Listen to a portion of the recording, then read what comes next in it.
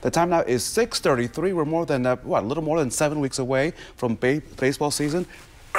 Right here in Indianapolis. Uh, we are looking forward to it and the warmer weather that comes Absolutely. with baseball season. But there is a lot of work that has to happen before opening day. WRTV's Adam Schumes is live this morning with how you can get involved. Adam, good morning.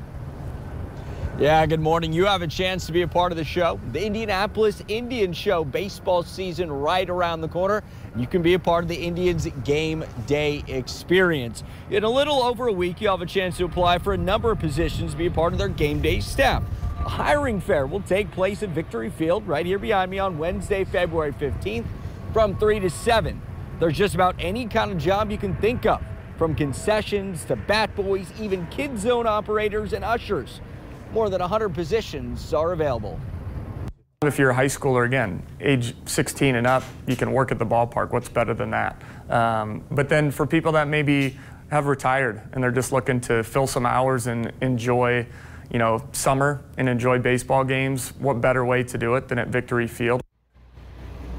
There you go. You must be at least 16 years old. The Indians 75 game home schedule begins Friday, March 31st.